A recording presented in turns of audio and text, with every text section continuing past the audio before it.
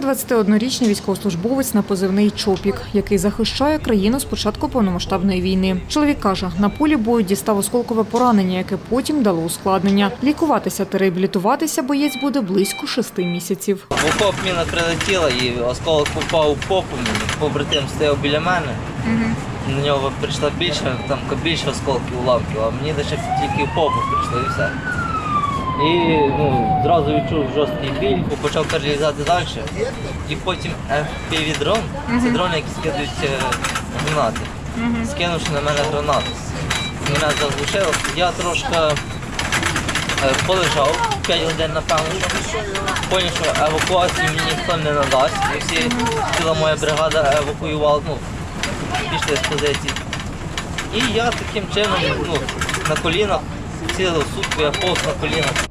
А це 24-річний кулеметник на позивний Малий. Боєць дістав поранення в ногу в боях під селом Приютне Запорізької області. Каже, пішов 24 лютого разом з друзями добровольцями боронити країну. Родом чоловік з Дніпрорудного. Был обстрел, перебывали на позиции.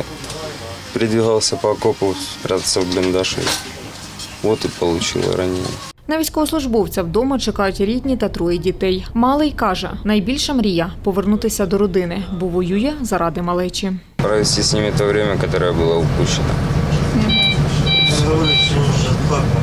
Много упустил за то время, не видишь, как выросли. Медик добровольчого батальйону госпітальєри на позивний ФЕП каже, поранених бійців евакуюють зі стабілізаційних пунктів і прифронтових медзакладів до тилових шпиталів. Ця робота не має там вихідних чи якихось а, відпусток. Тобто нам телефонують, ми виїжджаємо в точку евакуації і потім відвозимо поранених в зарані обумовлену точку.